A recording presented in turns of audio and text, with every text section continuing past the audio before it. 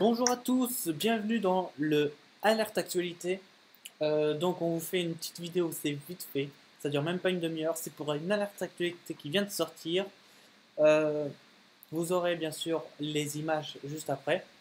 Donc en fait, cette alerte actualité qui vient de sortir, c'est tout simplement pour vous annoncer officiellement, je dis bien officiellement, et ça va venir bientôt dans les télés, que Obama a été remplacé et que justement, il y a une nouvelle république des États-Unis. Alors cette, publique, cette nouvelle république, déjà c'est qui qui l'a fait et comment ça s'est passé? Alors tout simplement, c'est pas du tout un coup d'État, c'est pas du tout euh, une obligation ou quoi que ce soit, ça a été en fait par euh, nos amis Cobra un échange, une négociation qui a été faite et du coup, eh ben, Obama a dû démissionner. Pour l'instant, c'est pas officiel, ils vous le disent pas, mais bientôt ça va l'être. Donc Obama a dû démissionner et aujourd'hui, l'actuel président des États-Unis, enfin, ça s'appelle pas comme ça parce que tout a changé, même le drapeau, c'est pour vous dire. Donc aujourd'hui, l'actuel président de la nouvelle République des États-Unis, c'est Monsieur Paul Ryan. Alors, ah, il faut pas confondre. Aujourd'hui, on appelle les États-Unis. Demain, ce sera la République des États-Unis, comme la République française. Qui est Paul Ryan Paul Ryan est tout simplement le 62e président de la Chambre des représentants aux États-Unis. Ce n'est pas celui qui fait le Congrès, c'est l'équivalent à l'Assemblée nationale chez nous. Donc, vu que tout le gouvernement Obama et l'administration Obama ne veut pas succéder, donc ça a été le président de la Chambre des représentants, M. Paul Ryan, qui a été élu. Bien sûr, il n'y aura pas évidemment d'élection présidentielle américaine, parce que ils vont vous dire que tout ça va être annulé pour fraude électorale, ça va de soi. Donc il n'y aura ni Donald Trump, ni Hillary Clinton qui vont être tout simplement président ou présidente des États-Unis. Donc tout ça, ça va être annulé en un claquement de doigts avant le 8 parce que les élections qui se font seront votées le 8 novembre et tout ça sera bien sûr annulé bien avant, je pense que ça va être aux alentours de la Toussaint. Et ce n'est pas une date au hasard, vous le savez très bien. Donc, pour vous dire tout ça, même le drapeau a changé. Aujourd'hui, le drapeau il est composé sur un fond bleu de 50 étoiles signifiant les 50 États, avec une barre rouge et une barre blanche comme ceci, c'est-à-dire à, l'horizontale. Demain, vous aurez déjà le drapeau sur fond blanc. Ensuite, vous aurez dans, un, dans une sorte de petit carré, toujours sur fond blanc, tout est sur fond blanc. Vous aurez 13 étoiles. Pourquoi 13 étoiles? Ça signifie les 13 colonies fondatrices des États-Unis. Vous auriez aussi à la verticale 7 sept traits verticaux en rouge. Et pourquoi ce sont à la verticale et non pas à l'horizontale ils ont laissé? Tout simplement parce que 7, si, si dans la numérologie vous suivez, vous savez à quoi ça ressemble. Et pourquoi des barres en verticale? Tout simplement parce que ce sont signes de piliers, donc de fondement. Et donc, tout a changé. Même la constitution va changer dans les prochaines semaines donc du coup, il va y avoir une nouvelle constitution avec euh, le peuple qui va justement faire euh, la constitution. Ce ne sera pas les francs-maçons ni les Illuminati, mais bien le peuple américain qui va faire la constitution. Cependant, on s'attend toujours à une sortie du Texas des États-Unis, ce qui est largement prévisible. Et, euh, donc, on peut s'attendre aussi à avoir comme une sorte de guerre des races. C'est-à-dire, en gros, les blancs tuent les noirs. Voilà. Mais ceci est bien sûr qu'une hypothèse. Euh, Gérard, tu veux peut-être dire quelque chose? Écoute, euh, merci de donner cette info, Nicolas. Euh, donc, non, ce que je peux dire, attends, on a des appels. On a, qu'est-ce que j'allais dire ben, On sait, donc je confirme Hillary Clinton, la vraie, elle est décédée, ça fait déjà un bon moment.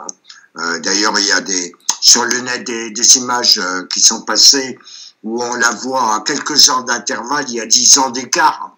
On voit très bien que c'est une peau synthétique sur le clone qui a été mis en place, qui n'était pas performant, mais qui a été euh, remplacé par un autre clone plus performant.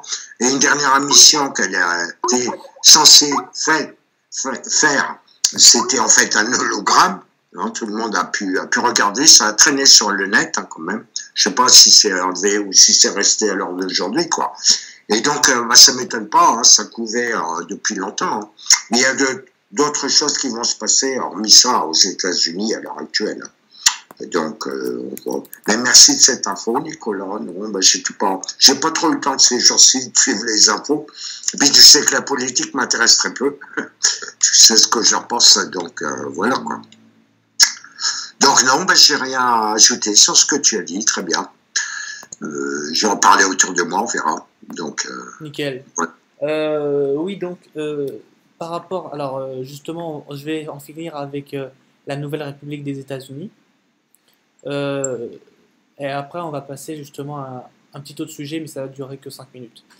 pour finir, donc, par rapport à la Nouvelle République des États-Unis, à savoir que aujourd'hui, tous les membres de gouvernement que vous avez, donc que ce soit Clinton, Obama, Bush, ou même autres, John Kerry, etc., seront démissionnés d'office. Et s'il n'y a pas négociation, écoutez bien, s'il n'y a pas de négociation avant le 21 novembre, donc c'est quand même dans pas longtemps, ils, ont, ils leur laissent deux semaines et demie. Si avant deux semaines et demie, il n'y a pas de négociation entre justement la Nouvelle République des États-Unis et les anciens, donc c'est-à-dire les Illuminati, il y aura bien sûr pour eux qu'une solution, à savoir la prison à vie. Et ça nous arrange bien entre nous. Euh, passons à un autre sujet, et c'est toujours de l'alerte actualité. Depuis le mois de juillet, écoutez bien, depuis le mois de juillet, tout le Royaume-Uni ainsi que le Royaume du Commonwealth, donc c'est-à-dire la nation des communautés, je parle du Canada, de l'Australie, Trinité et Tobago, etc., etc., n'ont plus de monarque. Elle est morte depuis juillet. Elisabeth II est morte, officiellement. Et donc, tous ces pays qui sont de la nation des communautés n'ont plus de monarque. Donc, en gros, vous n'avez plus personne à la tête de la monarchie. Gérard va vous en prouver. Hum, alors oui, euh, oui, alors euh, Elisabeth II, bah, je vous montre, hein, voilà. Vous, savez tous que j'ai des technologies qui me permettent de détecter si quelqu'un est mort ou vivant. Et donc, euh, bah, mes recherches que j'avais fait il y a quand même quelques temps, elle serait décédée le 11 07 2016. Donc c'est pas un hasard le 11. Hein. Et 7 non plus, vous savez que ce sont tous des chiffres cabalistiques de la cabale, pas avec un K mais avec un C. Hein, donc voilà. Et donc ça c'est caché parce qu'il y a au niveau euh, pour la succession, bah, il y a des magouilles, hein, des petites bagarres internes. Hein, donc qui va succéder à Elisabeth II quoi. Donc elle est décédée le 11 07 2016. Mais bon, bien sûr, c'est caché au public hein, parce que vous savez comment sont les Anglais, quoi. Hein, leur reine, leur reine. Euh, bon. Donc euh, voilà, donc je, confirme. Je confirme même chose que pour Hillary euh, Clinton, hein, pareil, l'autre je l'ai dit. Il y en a qui ne sont pas d'accord avec moi, mais moi, ma technologie ne me trompe pas si quelqu'un vivant pas. Il n'y a aucun souci là-dessus. Voilà. Et bah écoute, je te remercie grandement Gérard. Je vous remercie à vous. L'alerte actualité est finie aujourd'hui. Ça a duré que quelques minutes et je vous en remercie. On se dit à lundi prochain ou peut-être entre deux à une autre vidéo.